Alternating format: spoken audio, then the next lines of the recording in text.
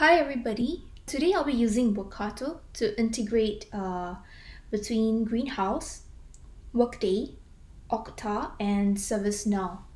So the workflow that you'll be seeing today it's whenever there's a new candidate being hired in Greenhouse, it would create a pre-hire and a hire event in Workday. It would also go ahead to create a Okta user account for the new hire and then the workflow would also send a welcome email to the new hire. And lastly, it would go to ServiceNow to create the new user account, as well as a ticket in ServiceNow to track the onboarding status. Without further ado, let's go ahead to um, look at our greenhouse application. So over here, I have a new hire by the name of Chester Sloan and uh, I've put in my email address. Now this is my actual email address because I want to be able to receive the welcome email in my actual inbox. So let's go ahead to save this and it's saved. So you know as you can see over here in the greenhouse uh, page over here we have Chester who was hired and the offer details are also filled in as you can see over here.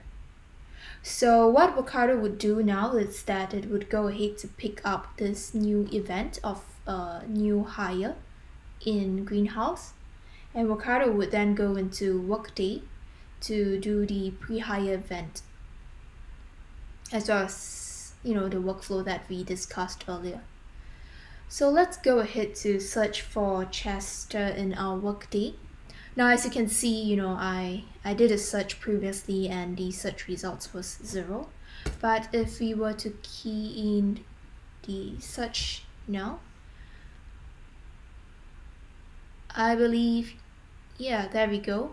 You can see Chester Sloan being created in uh, the Workday instance, as well as the um, hire employee event has been created. Now if we were to go into Okta,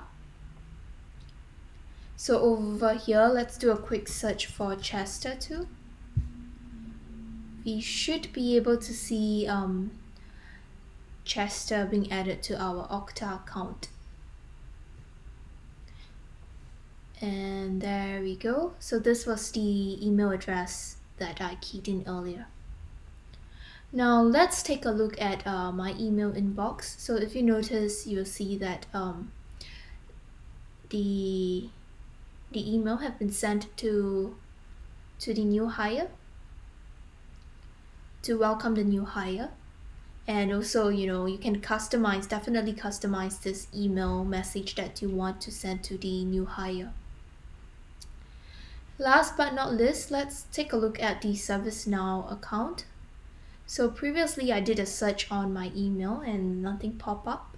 So now if I were to enter it again, you will see that um, I would have a result now by the name of Chester Sloan and all this information that uh, was synced from Greenhouse by Workato. So with this, uh, I've come to the end of the demo. Thank you.